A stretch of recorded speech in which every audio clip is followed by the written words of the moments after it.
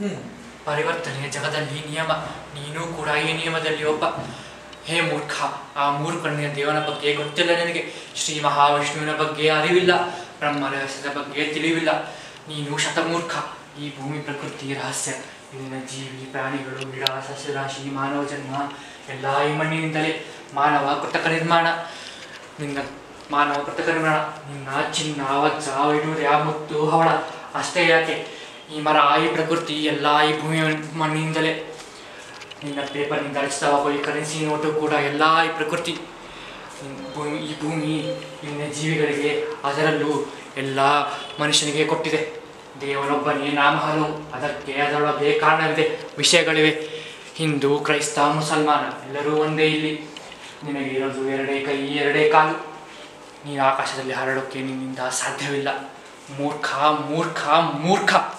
ನೀನು ಒಂದು ಹಳಸುವ ದೇಹ. ಅಷ್ಟೇ. ಆ ಪರಮಾತ್ಮನ ಬಗ್ಗೆ ಅರಿವಿಲ್ಲೋ ನಿನಗೆ? ಮೂಢ.